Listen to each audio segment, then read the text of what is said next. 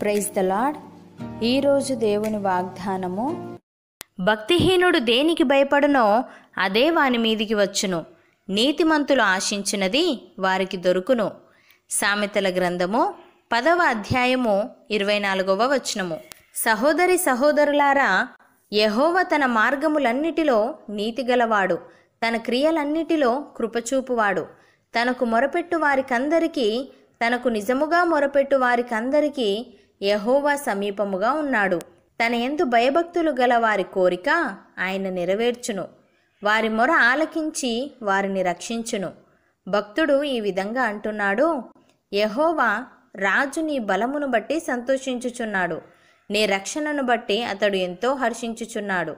అతని మనోభీష్టము నీవు సఫలము చేయుచున్నావు. అతని పెదవులలో నుండి వచ్చిన ప్రార్థన నీవు మానక అంగీకరించుచున్నావు. శ్రేయస్కరమైన ఆశీర్వాదములతో నీవు అతనిని ఎదుర్కొనుచున్నావు. అతని తల మీద అపరంజు కిరీటము నీవు ఉంచి ఉన్నావు. ఆయస్సు నిమ్మని అతడు నిన్ను వరమడగగా నీవు దానిని అతనికి అనుగ్రహించి ఉన్నావు. సదాకాలము నిలుచు దీర్ఘాయువు నీవు దయచేసి ఉన్నావు. నీ రక్షణ వలన అతనికి గొప్ప మహిమ కలిగెను. గౌరవ ప్రభావములను నీవు అతనికి ధరింపజేసి ఉన్నావు. నిత్యము ఆశీర్వాద కారకుడుగా నుండునట్లు నీవతన్ని నియమించి ఉన్నావు. నీ సన్నిధిని సంతోషముతో అతన్ని ఉల్లసింపజేసి ఉన్నావు. ఏలయనగా రాజు యహోవా యందు నమ్మిక ఉంచుచున్నాడు సర్వోన్నతుని కృపచేత అతడు కదలకుండా నిలుచును అని. ప్రియులారా మనము సత్యమును గూర్చి అనుభవ జ్ఞానము పొందిన తర్వాత బుద్ధిపూర్వకముగా పాపము చేసిన ఎడల పాపములకు బలి ఇకను ఉండదు గాని న్యాయపు తీర్పునకు భయముతో ఎదురుచూచుటయు విరోధులను దహింపబోవు తీక్షణమైన అగ్నియు ఇకను ఉండును. ఎవడైనను మోసే ధర్మశాస్త్రమును నిరాకరించిన ఎడల ఇద్దరు ముగ్గురు సాక్షుల మాట మీద కనికరింపకుండా వాని చంపించుదురు. ఇట్లుండగా దేవుని కుమారుణ్ణి పాదములతో త్రొక్కి తాను పరిశుద్ధపరచబడుటకు సాధనమైన నిబంధన రక్తమును అపవిత్రమైనదిగా ఎంచి కృపకు మూలమగు ఆత్మను తిరస్కరించిన వాడు ఎంత ఎక్కువైన దండనకు పాత్రుడుగా ఎంచబడునని మీకు తోచును. పగ తీర్చుట నా పని. నేనే ప్రతిఫలమిత్తుననియు మరియు ప్రభువు తన ప్రజలకు తీర్పు తీర్చును అనియు. చెప్పిన వానిని ఎరుగుదుము గదా. జీవము గల దేవుని చేతిలో పడుట భయంకరము. అపోస్తలుడైన పౌలు ఈ విధంగా అంటున్నాడు.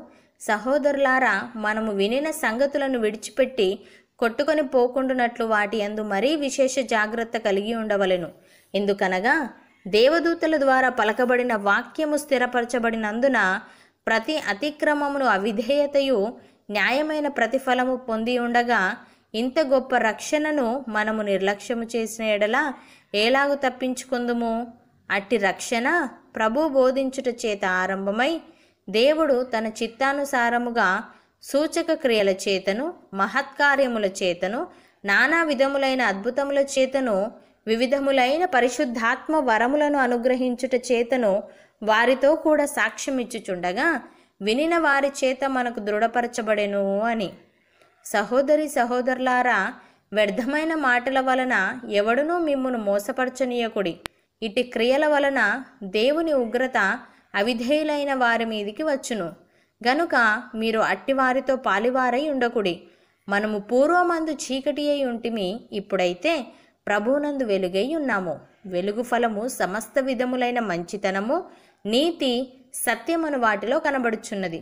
గనుక ప్రభుకేది ప్రీతికరమైనదో దానిని పరీక్షించుచు వెలుగు సంబంధుల వలె నడుచుకొనవలసిన వారమై ఉన్నాము. అవును అన్నవారు నాతో పాటు ప్రార్థనలో ఏకీభవించండి. పరిశుద్ధుడా ప్రేమగల తండ్రి మేము నీ యందు భయభక్తులు కలిగి నీ వాషించిన రీతిగా ఈ లోకములో జీవించుటకు సహాయము దయచేయమని విశ్వాసముతో ధైర్యముతో మేము ముందుకు సాగడానికి కృప చూపమని యేసుక్రీస్తు నామమున ప్రార్థిస్తున్నాము తండ్రి. ఆమెన్.